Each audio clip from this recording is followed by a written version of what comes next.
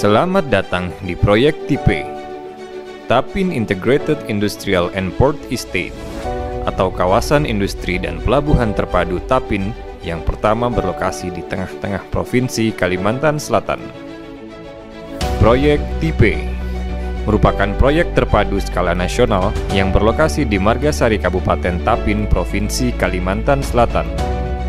Lokasinya sangat strategis di kawasan pertumbuhan di wilayah utara Kalimantan Selatan yang melayani enam kabupaten kota yang mencakup 40% perekonomian Kalimantan Selatan serta prospektif juga melayani tiga kabupaten di Kalimantan Tengah. Lokasi proyek tipe mempunyai keandalan perairan yang tinggi dengan lebar sungai 250 hingga 350 meter, kedalaman 7 hingga 9 meter, panjang tepian perairan 1100 meter, menjadikan pelabuhan tipe dapat dilayari 365 hari dalam setahun tanpa gangguan pasang surut perairan. Pelabuhan Margasari Baru Tipe sangat strategis karena merupakan bagian dari implementasi konsep tol laut Indonesia dengan memperkuat subkoridor Kalimantan Jawa. Pelabuhan tersebut memadukan moda transportasi laut, sungai, dan jalan raya serta terkoneksi dalam jaringan kereta api Trans Kalimantan mendatang. Pelabuhan Margasari Baru Tipe direncanakan dengan empat terminal terdiri dari Terminal Peti Kemas, Terminal Multipurpose, Terminal Curah Cair, dan Terminal Batubara.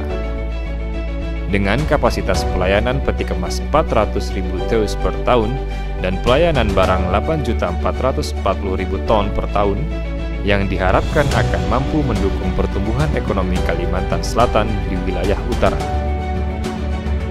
Selain pembangunan pelabuhan laut, proyek TIPE terintegrasi dengan pembangunan kawasan industri Tapin seluas 1000 hektar yang akan menggerakkan berbagai sektor ekonomi.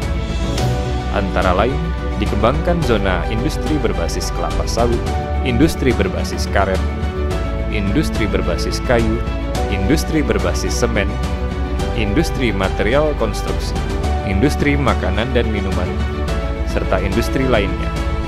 Dengan pembangunan proyek terpadu kawasan industri dan pelabuhan tipe, diharapkan perekonomian Kalimantan Selatan semakin tumbuh pesat di atas 10%, yang disertai penciptaan lapangan kerja yang lebih luas. Kehadiran pelabuhan Margasari baru tipe tersebut diperkirakan juga terjadi efisiensi biaya logistik sekitar 20 hingga 25 persen. Selain itu, dengan dibangunnya proyek tipe, maka perekonomian Kalimantan Selatan semakin siap untuk terus berkembang ketika cadangan batu bara semakin menipis. Dengan dibangunnya kawasan terpadu skala nasional tipe, diharapkan semakin menarik investor untuk menanamkan modal di Provinsi Kalimantan Selatan.